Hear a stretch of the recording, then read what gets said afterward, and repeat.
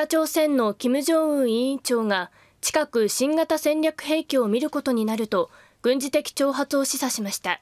北朝鮮メディアが報じました。北朝鮮の朝鮮中央通信は先ほど金正恩委員長がアメリカを批判し近く新型戦略兵器を見ることになると伝えました。軍事的挑発を示唆したものとみられます。昨日まで平壌で開かれた朝鮮労働党中央委員会総会で発言したもので平和体制が構築されるまで戦略兵器の開発は続けるとも述べています。一方キム委員長は我々の核抑止力はアメリカの立場により修正されると対話継続に含みを残しました。